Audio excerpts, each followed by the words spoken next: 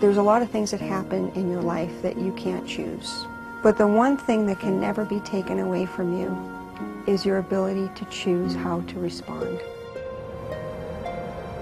My name's Terry Wise, and I travel around the country. I do a lot of public speaking on mental health topics. I'll tell you about it in a few minutes. So there was a lot of things brewing at the time.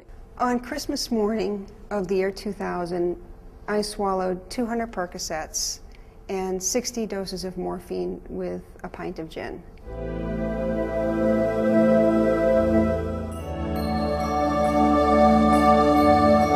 I felt like life was an endurance test for me, and making it to the next day, and to the next day, and to the next day was truly, it was, um, it was just a fight for survival. I was home from the hospital, and nobody knew what I had just gone through. So I was alone before the attempt, and now I was really alone. Well, I had been seeing Dr. Glazer.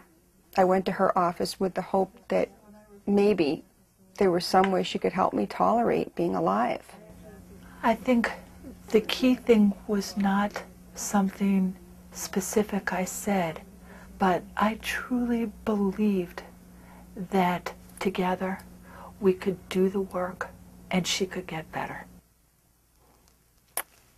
when you get to that point, you feel so worthless. And, excuse me, to have someone believe in you that much. Suicide doesn't stand alone. It doesn't just happen as the result of nothing out of nowhere. It's the result of something.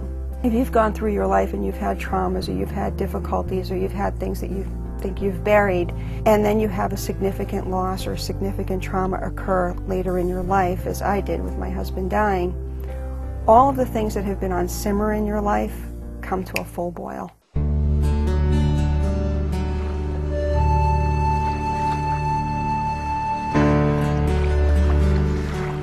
Suicide for me had become almost like a coping mechanism. And I, I, learned in therapy that death wasn't the only way to end my pain. There were other ways to end my pain besides death. And one of them was developing coping skills and, and learning how to manage my feelings in a different way, which, which I did.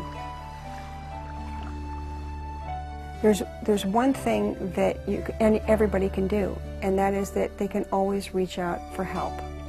There's always somebody there that will offer support.